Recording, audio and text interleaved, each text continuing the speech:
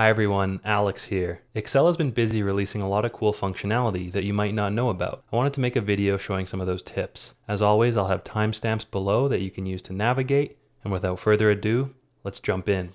Number one, checkboxes. You've probably tried to insert checkboxes at some point in your life with Excel and realize that it's not as easy as it seems. Well, you no longer have to struggle because it natively is supported now uh, through the Insert tab in Excel. So all you have to do is select the cell or cells where you do want to insert the checkbox. You go to Insert and you click Checkbox. Now you've got this uh, native clickable checkbox that's automatically inserted for you and you can do this with multiple cells as I'll show and it's just extremely simple, clean and concise. Keen-eyed viewers might have noticed that the formula value up here actually changes if you toggle a checkbox or not. So under the hood, this is actually really powerful because when you check something, it'll now be true and it'll be false when it's unchecked. This means that you can look at the value of the checkboxes in formulas. You can do everything in Excel that you would normally do, things like conditional formatting. So I'll show you two cool examples with checkboxes now. I'm gonna go ahead and check a few random boxes here. And then let's say I want to figure out how many of Alice's tasks are currently marked as complete, just to have sort of a, a total number that she's done. Well, the way I would probably tackle this is with the count ifs formula. And the reason for that is because we have two things we want to check. We want to check, is it Alice? And then has she completed that task in that specific row? So if we look at the countifs function, that's exactly what we want because it lets us specify multiple ranges um, with multiple criteria. So as the first range and criteria to check, I'm just going to do all of column B for simplicity. And I'm going to say I want that value to be the string Alice, which is denoted with the quotation marks there. And then I can go to my second range. So what do I want to do for that? Well, I want to check if it's complete or not. So I'm going to go to column E, that selects the entire column. And then I'm going to check if that's true. So all I have to do is put true in capital marks. And if that's the case, we can see that Alice has two items which have been checked. And, you know, if I want to click and toggle them, you'll see that that automatically updates as well. Um, and other ones don't affect her because we're not checking for anyone but Alice. So pretty slick. As another example, let's say I want to visualize this table with conditional formatting. So I want to see, you know, at a glance that the completed items are green, for example. Well, that's pretty easy too. All I have to do is select my table, go to conditional formatting, click on highlight cells rules, and I'm going to use the equal to function real quick here. Cells that are equal to the value true, let's fill them with a green fill. And okay, that's good, it's a start, but I want the whole row to be green just to make it a little more visual. An easy way to tackle that is to go to conditional formatting. I'm gonna go to manage rules to get that rule that we just set. I'm gonna click on edit at the top here. And then the way to do rows is you wanna go down to use a formula to determine which cells to format. And this may, might seem a little tricky, but don't worry, it's very simple, so just bear with me. All we have to do is, starting from the top, we're gonna say dollar sign A sorry, dollar sign E2. The dollar sign E means keep the E column static, and the 2 just means let's go to row 2. And then it's smart enough that Excel is going to jump down and increase the number here because we didn't put another dollar sign in front of it. If we put a dollar sign in front of the 2, that would hold it as a constant row and column, but we only want the column to be constant and the rows to move. And Excel knows that if you do a dollar sign E, for example, here, it wants you to highlight the whole row 2 as green. So all we want to do is that equals true press OK. So there you can see the formula, hit apply, and boom, now all of the rows in our table are going to be highlighted fully green if we select, you know, anyone's done their work properly. Seems a little bit confusing with the formula, but it's not too confusing if you think about it for a little bit. Number two, contrast. So this is actually a very useful feature, even though it might not seem like it on the surface, and it'll help you massively with those giant spreadsheets with a ton of colors that are really hard to read. So Excel recently introduced a feature where it's actually smart enough to tell you what color types are the best given whatever color the background is at that time. For example, let's, you know, do this first with nothing. If I click on the text color icon here and then I select the high contrast tab, you'll see the colors drop down to only certain colors. And those ones are the best colors on a white background. The cool thing about this feature is that if we change the background color to blue, for example, just choose a blue here, and then below it, I change one to red, and I change this one to yellow.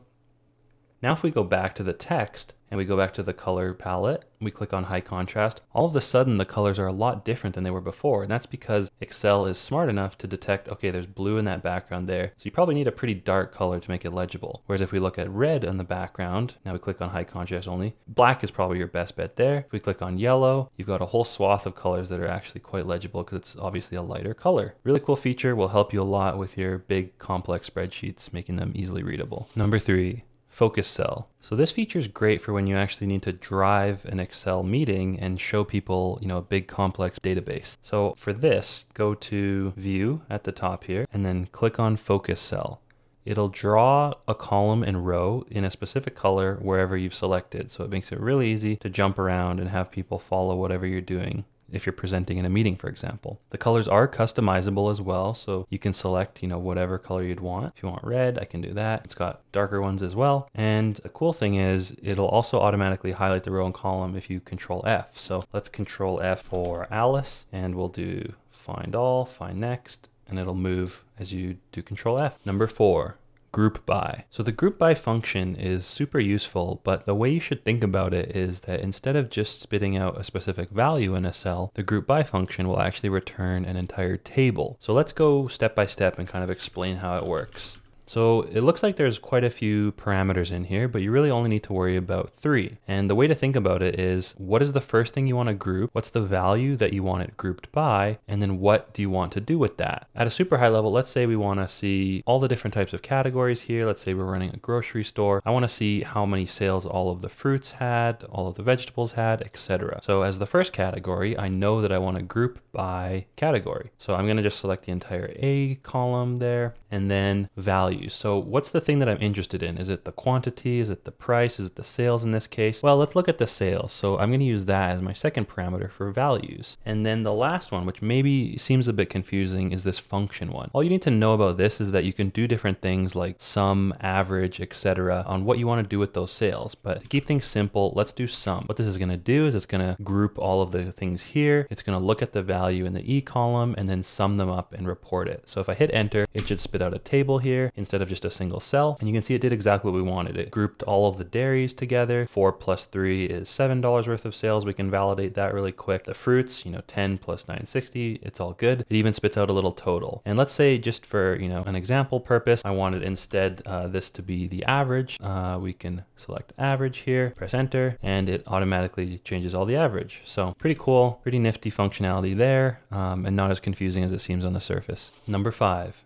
pivot by. So if you've ever used pivot tables, you're probably familiar with this, but the use case for pivot by is when you want something a little bit simpler than a full out pivot table. And let's walk through what exactly it can do if we have a collection of data in a table like this. So I've got a bunch of fruits, vegetables, dairy snacks across different years and items. Let's say I'm specifically interested in almost a summary, you know, year over year of how the different items are doing. So let's look at the pivot by function. You'll see there's four main parameters that we have to care about. The very first one, row fields, you can think of as the first item that you want as your first dimension. So in this case, I said that I'm interested in the items themselves. So I'm going to select items, just the whole C row. The second parameter here is what's the second dimension that I care about. So I actually wanted to see this, you know, split up by years. So I'm going to select the years column.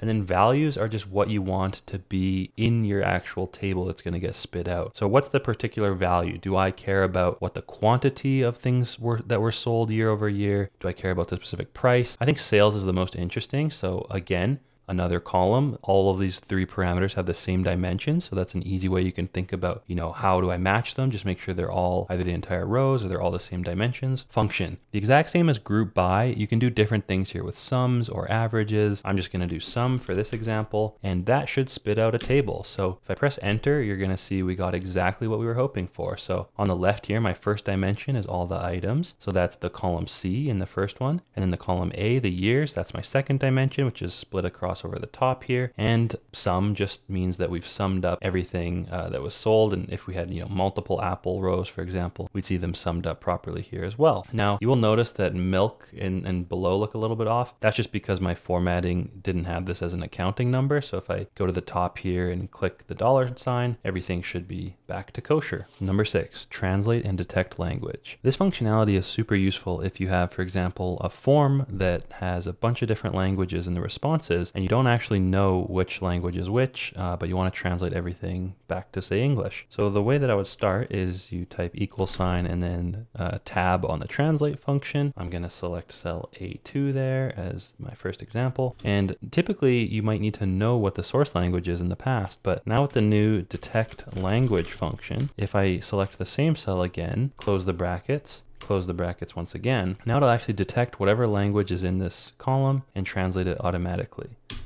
So it'll say busy for a second, and now it's automatically translated everything uh, to English for me. Number seven, Lambda.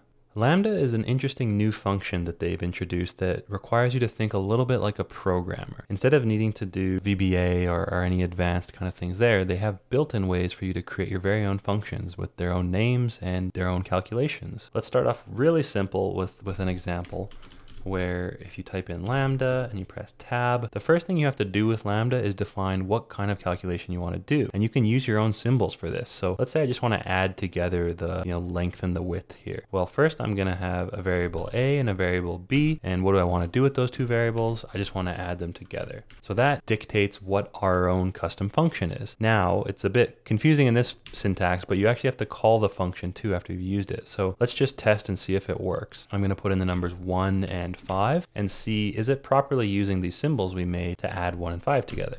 And uh, it, it shows 6, so it looks like it's pretty good. So instead of hard-coded numbers, now let's put in references to the cells, A2 and B2.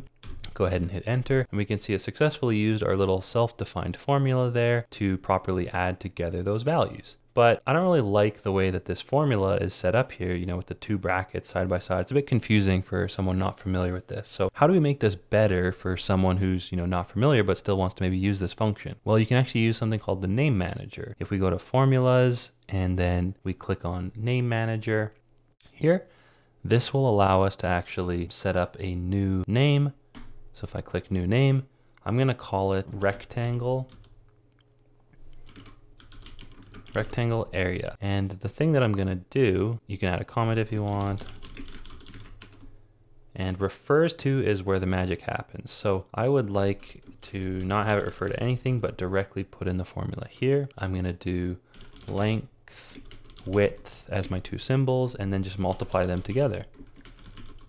So now I've got my own defined lambda function, which is going to multiply the length and the width of something together, and it's going to have the name rectangle area. So if I press OK, now I've added it to my name manager, I can close this, and instead of having this kind of ugly format here, I can tell someone, hey, in my workbook, I've added this new function called rectangle area. And all you have to do is put in a length and a width, and it'll properly compute it. You could imagine if you had a much more complicated function, you could do all the work to add it behind the scenes and then give it to your team and they can just use your function directly with a nice name, you know, with its own description as well, and then have everything work under the hood. So very powerful, very customizable. And there's the Lambda function. Number eight, scan. So now that we've learned a little bit about Lambda functions, which are just customizable functions that you can define yourself, there's also a new function that was recently added called scan. And what scan does is it will scan an array of values and apply whatever Lambda function you define to each value. And then it'll return the value at each point in that array. So instead of returning just a single value, scan will actually return an array the same size as the input. So let's say we want to create a running total, which can sometimes be a little bit tricky in Excel before this function existed. So I have this simple count column on the left, just numbers 1 through 11. I'm gonna first, sorry, as, a, as an initial value, we're gonna just have 0. That's if you want it to start from some other number or something else. But for the array itself, I want that to be A2 through A12.